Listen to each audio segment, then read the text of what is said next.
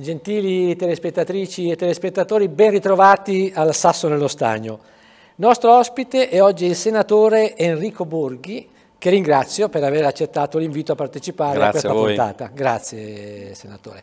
Il senatore Borghi è alla sua terza esperienza parlamentare, eletto deputato la prima volta nel 2013, era stato confermato alla Camera dei Deputati nel 2018.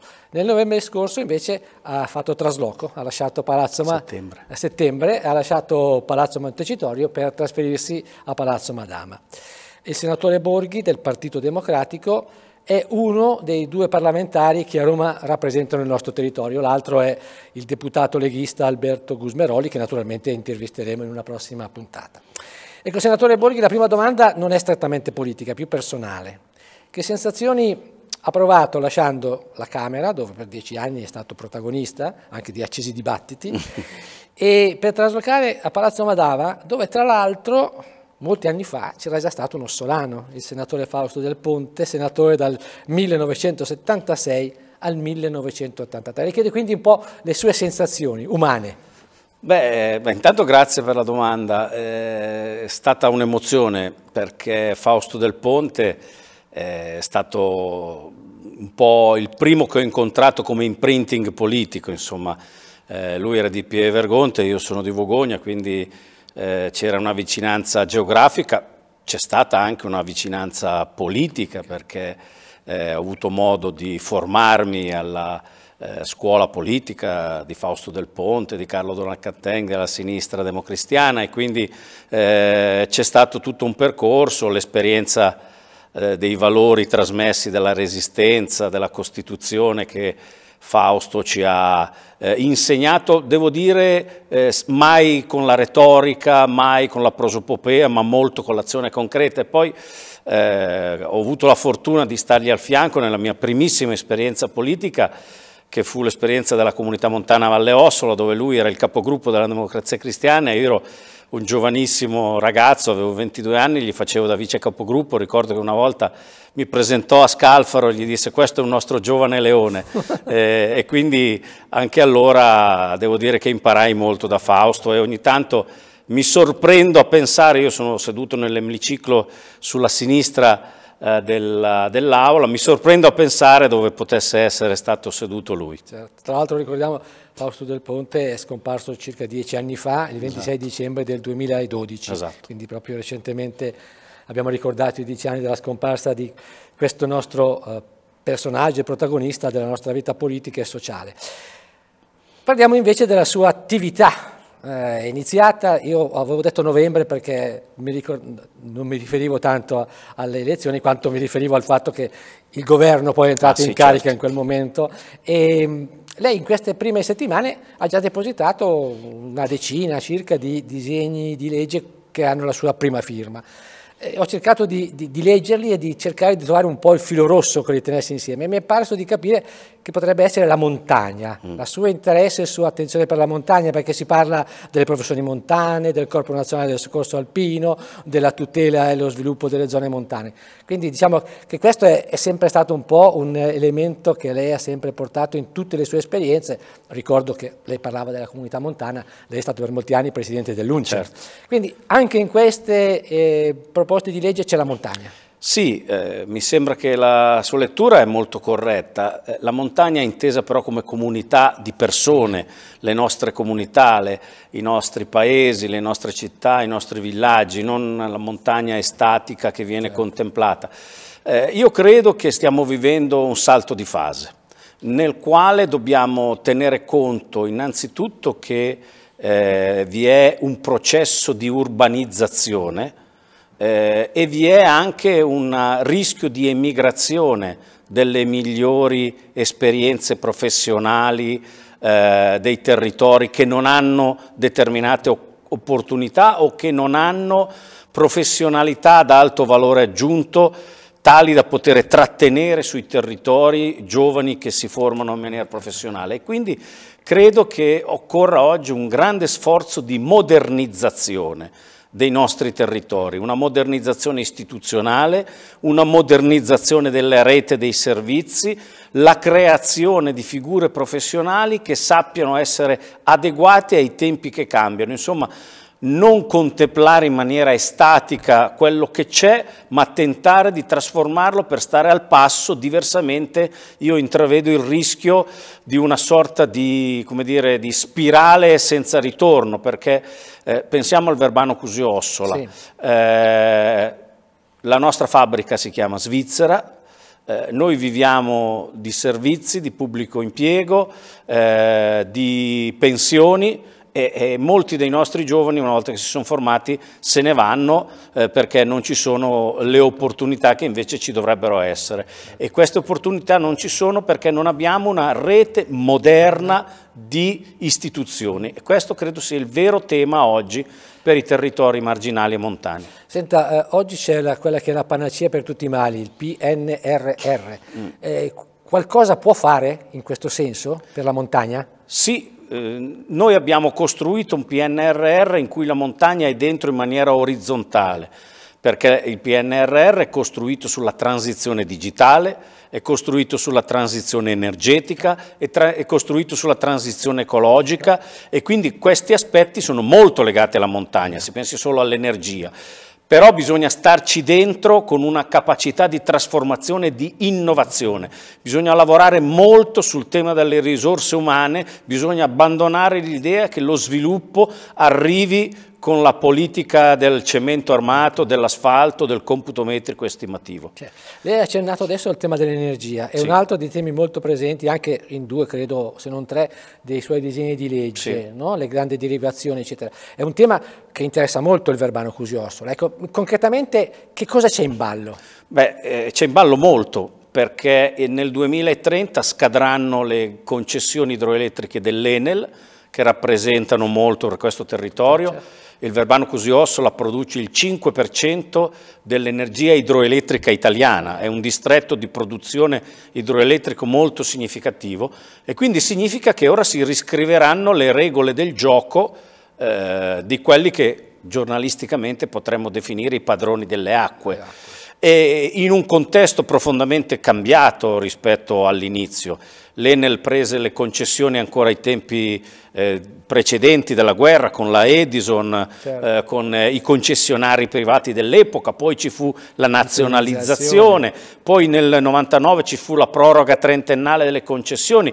Oggi stiamo discutendo di definire le regole del gioco in modo diverso rispetto al passato e quindi il tema della presenza dei territori che producono la risorsa acqua diventa un tema fondamentale. Una delle mie proposte di legge va esattamente in questa direzione. Quindi i territori diventeranno, cioè, semplifico, i territori che davvero diventano protagonisti nel momento in cui le loro risorse diventano risorse fondamentali per il Paese. È così, eh, eh, oggi i territori sono stati associati a questo percorso di sfruttamento attraverso delle mance, i cosiddetti canoni certo, idrici certo, o canoni dei bacini idrici certo. montani.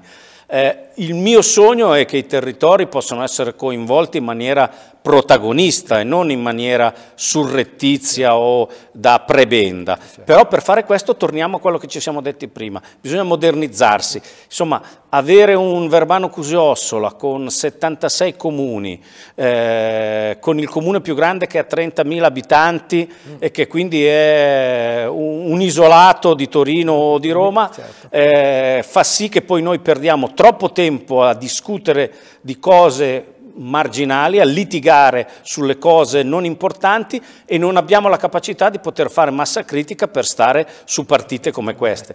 Il mio sogno era che la provincia potesse essere protagonista, la vedo un po' latitante. Scusi, provincia, battuta rapida, ho visto che ci sono alcune proposte di legge già depositate, credo, per riportare l'elezione diretta del Presidente della provincia. Lei cosa ne pensa? Ma io penso che bisogna discutere del ruolo della natura delle province.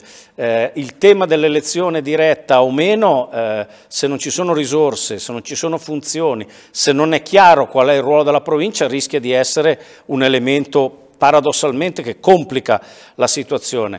In una provincia come questa, ripeto, di tanti piccoli comuni frammentati, la provincia dovrebbe avere più coraggio per aggregare, per certo. pianificare, per far lavorare insieme. A quel punto avrebbe senso l'elezione diretta. Certo. Però attenzione, l'elezione diretta è legata a funzioni proprie e attributi propri e quindi per spendere i soldi che sono tuoi devi avere un'idea precisa dello sviluppo. Oggi la provincia è un po' come una vecchia comunità montana, prendi i soldi di altri, lo Stato e la Regione e li ridistribuisce così. Quando invece devi chiedere i soldi ai cittadini devi essere più preciso, più puntuale, avere un'idea della politica che sia meno redistributiva. Adesso abbiamo una finestra oltre il VCO, perché lei è membro della Commissione Permanente Esteri e Difesa. Esatto.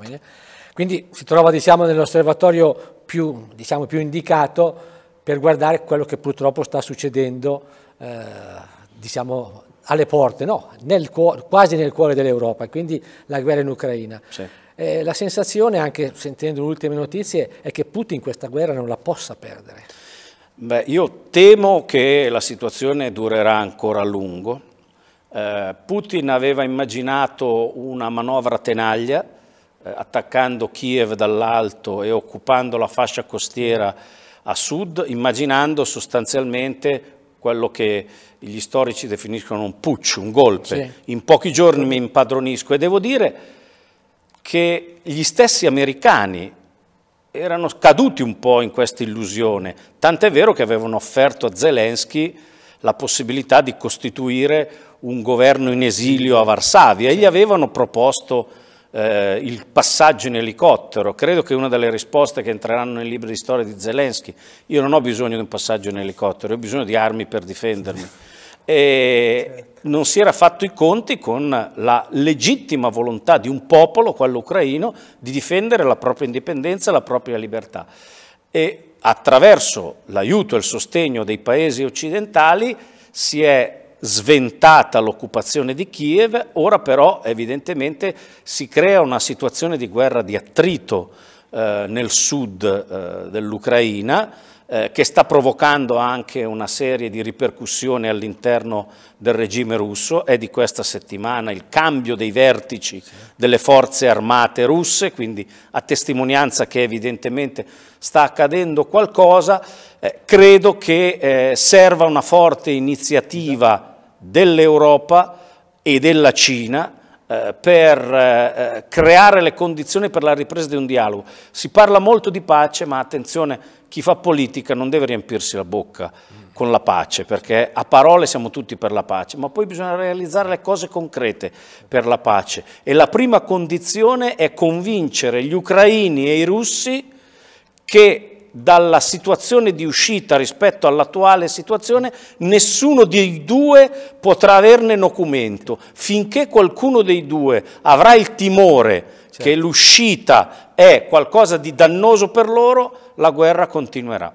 Ecco, in questa vicenda mi sembra ci sia però un'assenza, un silenzio assordante, le Nazioni Unite. Beh, le Nazioni Unite sono bloccate da un loro difetto di fabbrica, che è il famoso eh, principio di veto, perché come si sa i cinque paesi che compongono il Consiglio di sicurezza delle Nazioni Unite hanno il potere di veto, uno dei cinque paesi eh. che fa parte del Consiglio di sicurezza è parte in causa, quindi L'unica cosa che hanno potuto fare le Nazioni Unite è stato però un passaggio importante perché assicura copertura multilaterale all'azione di supporto all'Ucraina, è che nell'Assemblea delle Nazioni Unite, dove non vige il principio di veto, è stata votata una risoluzione di condanna della guerra che ha consentito all'Unione Europea e alla Nato di attivare il percorso di sostegno ma credo che il passaggio, lo snodo importante in questo senso possa arrivare dalla Cina.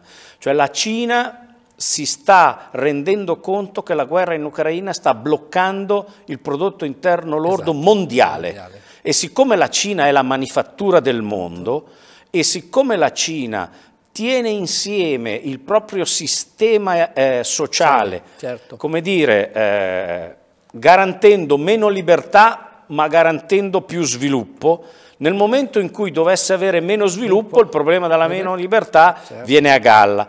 E quindi credo che prima o poi i cinesi si renderanno conto che è interesse anche loro intervenire, ma questo dipenderà anche dalla fermezza dell'Occidente, perché c'è una parte dei cinesi che immagina che quello che accade oggi in Ucraina possa accadere domani a Taiwan.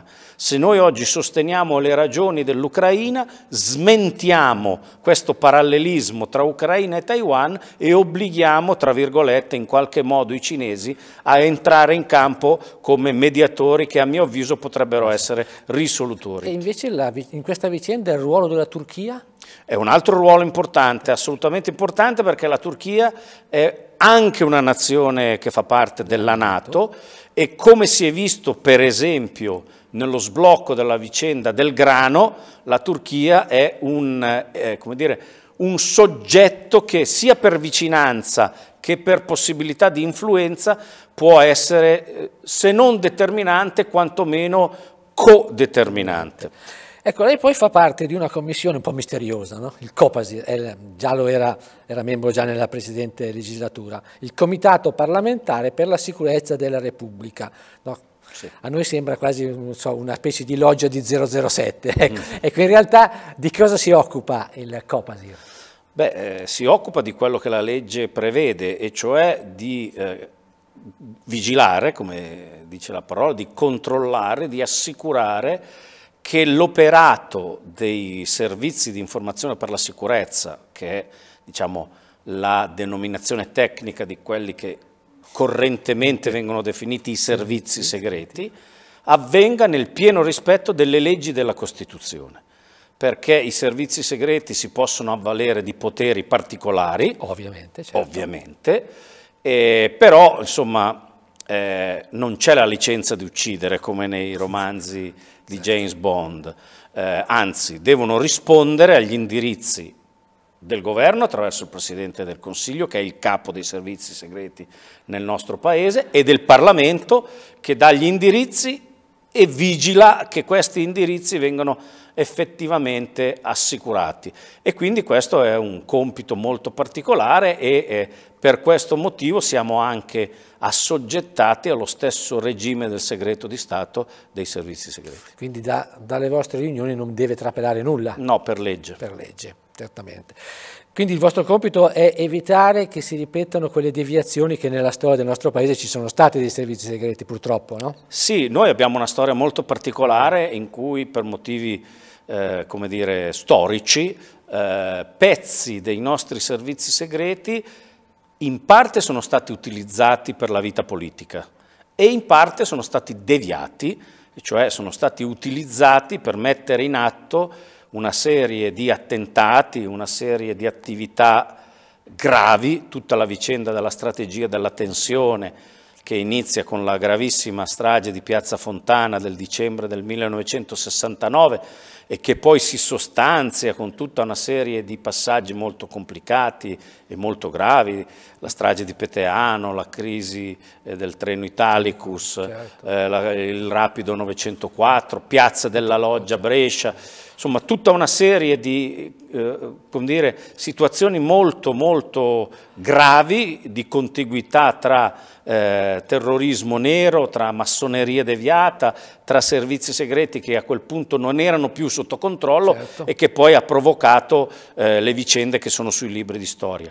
Per evitare questo, eh, nel 2007 il legislatore ha messo in atto una diversa eh, legislazione che ha stabilito che i servizi non possano più essere sottoposti al controllo politico del Ministro dell'Interno e del Ministro della Difesa, come era in precedenza, eh, in precedenza certo. tema che poi portava anche alle competizioni all'interno dei servizi, ma riguardano alla esclusiva competenza del Presidente del Consiglio che può avvalersi di un sottosegretario delegato e contemporaneamente con un controllo parlamentare in cui l'opposizione ha un ruolo maggiore rispetto alla maggioranza. maggioranza. Eh, è una delle due commissioni che deve essere presieduta dalla minoranza? Dalla minoranza. L'altra sì. è la vigilanza RAI? Sì, con la differenza che mentre il Copasir lo è per legge, la vigilanza RAI per è per consuetudine. consuetudine. Ecco, esatto. Senta, sicurezza, noi quando pensiamo a un attacco alla sicurezza dello sì. Stato, una volta pensavamo appunto alle bombe, eccetera. Oggi gli attacchi arrivano tramite gli hacker, tramite no? gli attacchi cibernetici, di questo vi occupate? Assolutamente, eh, bisogna capire che oggi il concetto di sicurezza si è molto esteso rispetto a quello di quei tempi e non è più assimilabile con il concetto di pubblica sicurezza.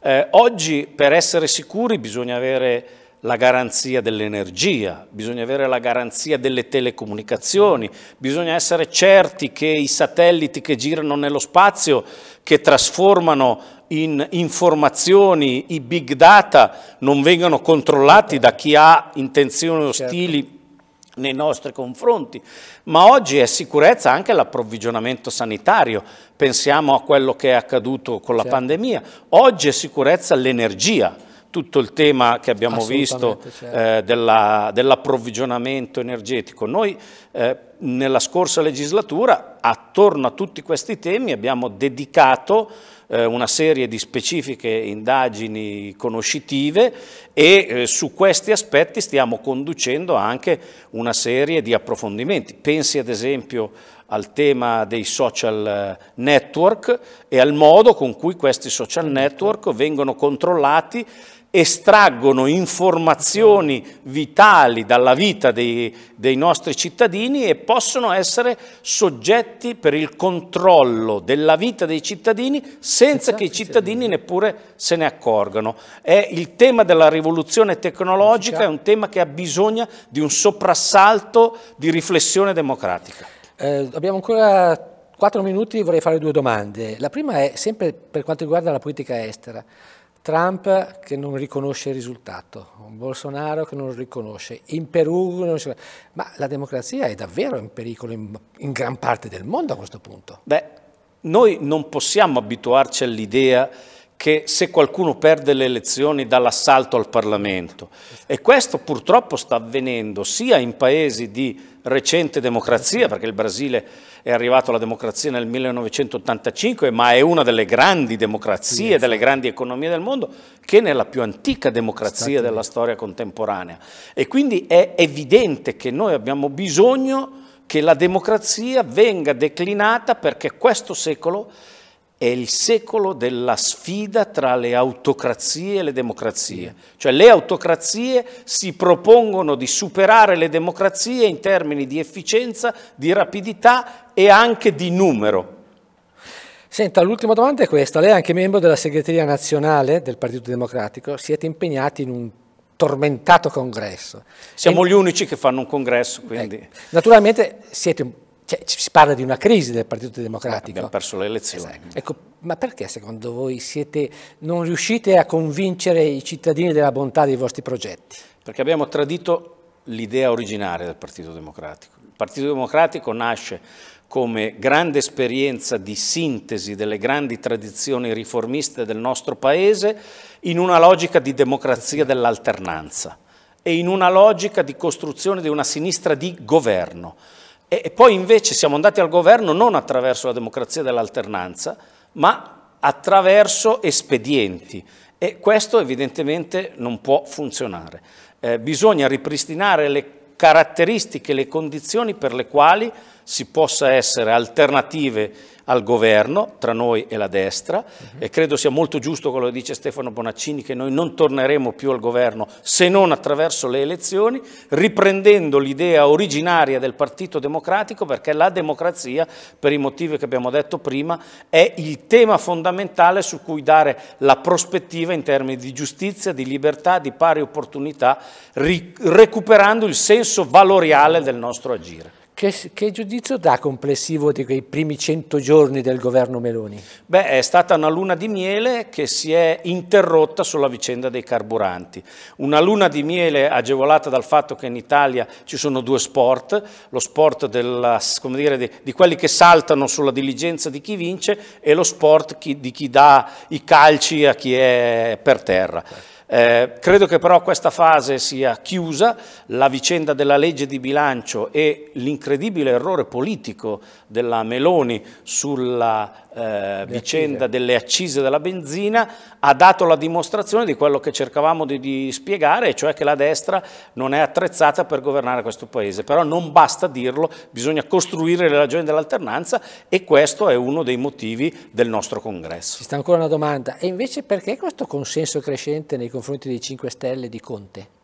Almeno secondo i sondaggi. Eh? Secondo i sondaggi, poi lo vedremo anche nelle prossime elezioni regionali in Lombardia e nel Lazio, secondo me il Partito Democratico sarà ampiamente davanti rispetto ai 5 Stelle, ma nell'immediato è facile prendere i voti quando si promette di dare i soldi a tutti, soprattutto quando si fa debito pubblico facile e si danno soldi a tutte le categorie. Il problema è poi quando questo giochetto si interrompe e anche sotto questo aspetto io rifletterei su una questione, il reddito di cittadinanza nel nostro paese Cuba 12 miliardi, in Italia ci sono 120 miliardi di spesa per i giochi d'azzardo. Riflettiamo su quello che sta succedendo nel nostro paese a proposito di povertà. Senatore Borghi, io la ringrazio per il tempo che ci ha concesso, le faccio gli auguri di buon lavoro. Grazie a voi. E naturalmente ringrazio tutti voi che ci avete seguito e vi do un arrivederci alla prossima settimana, sempre qui al Sasso nello Stagno, quando avremo come ospite il presidente dell'Unione Industriale del VCO, Michele Setaro, faremo un bilancio del 2022 e guarderemo le prospettive del 2023. Arrivederci.